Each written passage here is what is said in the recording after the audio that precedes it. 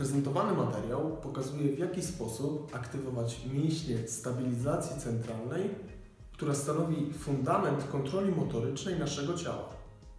Najważniejszą umiejętnością w budowaniu stabilizacji centralnej jest umiejętność odpowiedniej aktywacji mięśni tworzącej cylinder mięśniowy stabilizacji core. W skład tego cylindra wchodzą mięśnie z przodu, czyli mięsień poprzeczny brzucha biegnący od łuków żebrowych do spojenia łonowego, mięśnie wielodzielne stabilizujące każdy jeden segmencik kręgosłupa.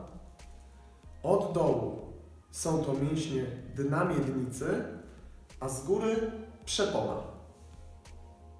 Odpowiedni timing, czyli czas reakcji aktywacji tych mięśni, warunkuje prawidłową stabilizację centralną oraz ochronę odcinka lędźwiowego kręgosłupa. Istotną rolę odgrywa tutaj oddech torem brzusznym, który przedstawimy w dalszej części tego materiału.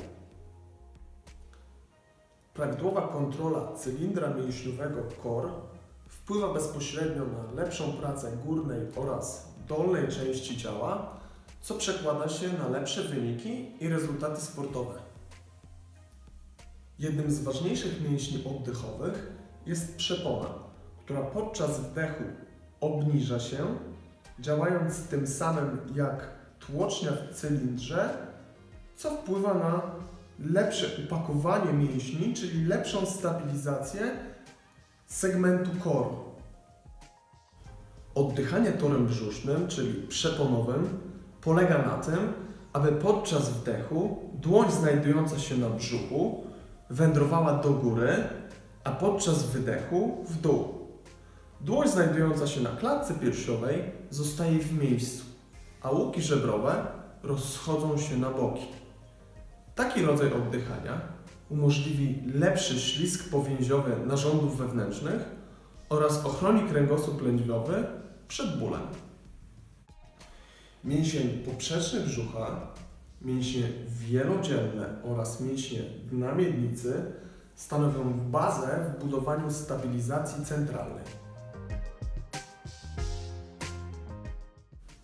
Aby prawidłowo poczuć napięcie mięśnia poprzecznego brzucha, połóż palce kontroli nad kolcem biodrowym przednim górnym powyżej więzadła pachwinowego i kaszlij kilkukrotnie. To, co podbije Twoje palce do góry, to właśnie jest mięsień poprzeczny brzucha. Teraz istotne jest, aby w odpowiedni sposób go napiąć.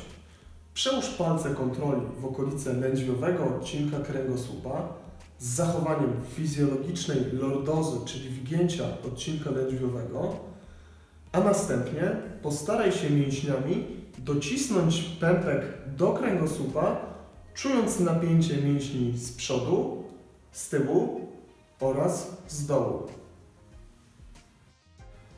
Pamiętaj, aby napięcie mięśni nie było większe niż 30% Twojej maksymalnej siły.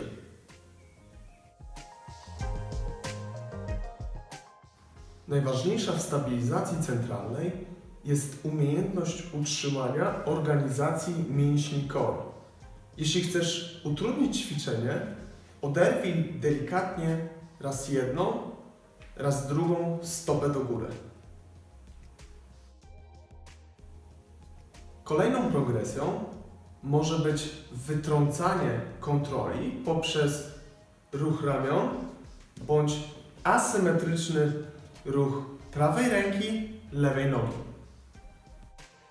Temat aktywacji mięśni stabilizacji centralnej to ogromny worek informacji, który nie sposób przedstawić w kilkuminutowym instruktażu. Jeśli któryś wątek tego materiału nasunął Ci kilka pytań, zostaw je w komentarzu lub skontaktuj się telefonicznie.